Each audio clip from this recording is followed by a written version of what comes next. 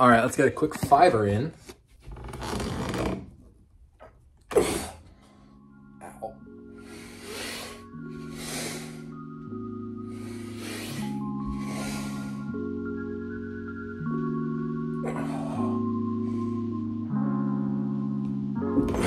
I have five more to do today, but I'm about to head to jujitsu and Muay Thai. I'm gonna run there. I'm taking my big bag this time because it's both classes tonight.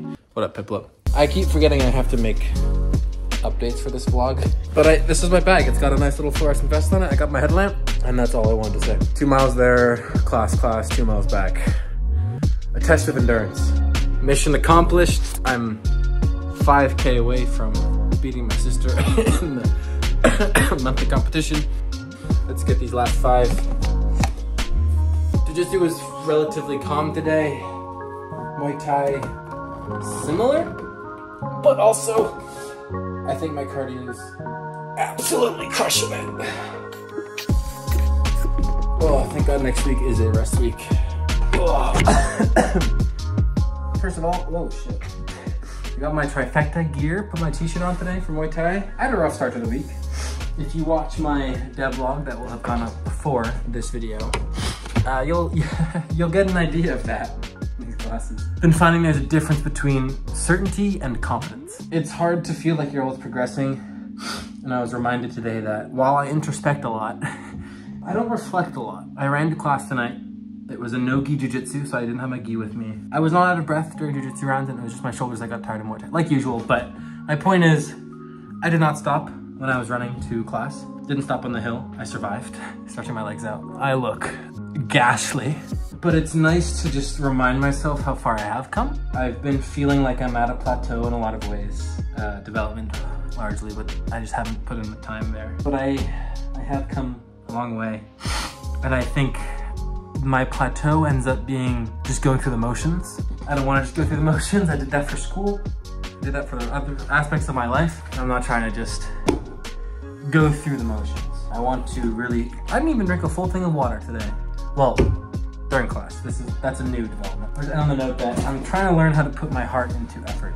That is something I'm working on. And that kind of starts with just why we're doing these things. And I think for me, but I also think in general, that is the most valuable part of physically pushing yourself. It is a tangible form of challenging yourself. My biggest challenge is the fact that I don't want to run. Sometimes my brain wins. Sometimes my brain's like, nope, we're gonna just not go to class tonight. You were tired, you exhausted yourself. Yes, I need rest, and that's what next week is for, but you win some, you lose some. I just don't get that same challenge with development and, and work. It's still a challenge, don't get me wrong, it's just not the same thing. While you're running halfway around a lake, you have to get to the end. While you're developing a game, you can just get up and walk away. I fell felt the level of my system, and it worked. Anyway, I'm gonna stop rambling. I need to shower. I'm running back from Muay Thai, and once again, haven't recorded this month. I'm just doing everything late tonight. Been a good day otherwise. I need to get a 10K in this week, and I don't know what I'm doing yet. I'm running with no music right now, which is just different. Work in progress. Hopefully, that'll be my goal this month. Have rest this month, I guess. Run 21K at some point. Just see what happens.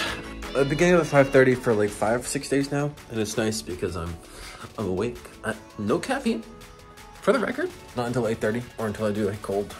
I wait till 8.30, to get a plus one. But I, I lay down in bed for like five minutes. But I didn't fall asleep, which is nice. And I'm somehow able to talk myself out of bed, which is fantastic. No, no sleep enough. Lake Union Loop. I did the math yesterday. If I run around it every day this week, plus running to and from it, I can reach my sister on the leaderboard. The thing is, I can only barely reach her. I think it's dark out, by the way.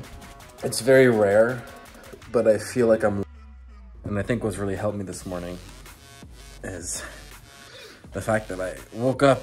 Well, the thing that didn't help is that I woke up and I was like, oh God, I gotta run nine miles, eight miles. It seems like so much distance, man.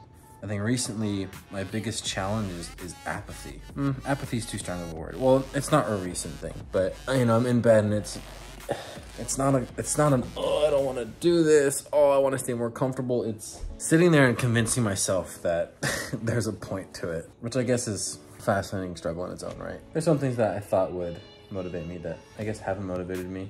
And I also gotta remember, I don't have any expectations for this run. No pace requirement. I'm, you know, shooting for like a nine minute mile, but if I hit 10, that's okay too. As long as I'm back and getting to work on time. like, I will say though, I have enjoyed being up early mornings. I think I, I enjoy having that time to procrastinate.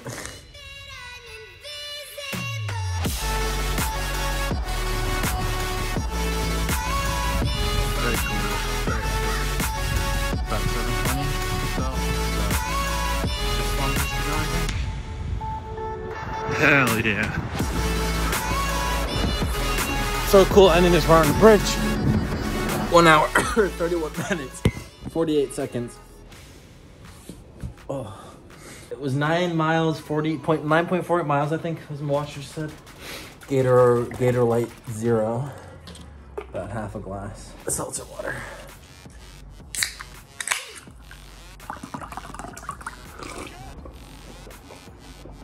Um, good run though. I'm not gonna lie. I slowed down a couple times. I like walked for, you know, 30 seconds to a minute, like stretching my lower legs out. Ran to my start point all the way around and back. The running back part was rough. I was like, I was tempted to walk and then I started counting to 100 in Japanese for no reason. And then I just kept going because I was like, if I run, I'm gonna get back faster. Similar pain to shin splints when I push and apply pressure, but didn't hurt exactly when I was running like it used to. Last note I want to end on here is just like, if I went back to sleep, I'd probably be waking up around now. I don't really know what to make of it. I don't feel a huge sense of accomplishment. I know I'm better off for it. It's the longest run of my life. longest straightforward run I've ever run in my life. Based on how I felt and how everything, 21K easily doable. Well, not easily. Definitely doable. I'm glad I chose the Lake Union loop because I would not want to be running around Green Lake four times. it just does not sound enjoyable. I'm off to the office in about 30 seconds, but um, it's Tuesday. I did not get up at 5.30 and run this morning. Um, I got up at 5.30 and then I was like, I was sore. Excuses, excuses. I definitely should have stayed up.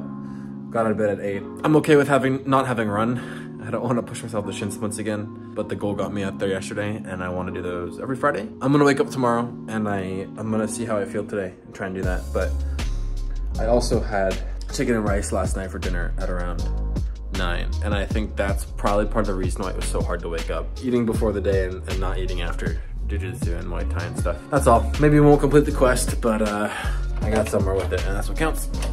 Yeah, my knees going down the stairs is rough, but it's my left knee. And I think it's because we did grappling and standing takedowns and jiu-jitsu and I just, my left knee hit the ground so much. Oh well, moving will help. My left elbow hurts a lot. I ran to jiu-jitsu. Uh, it was rather painful and a while ago I had shin splint problems and I'm feeling them again. And it's not, that's no surprise. I mean, I'm currently waiting for the bus back.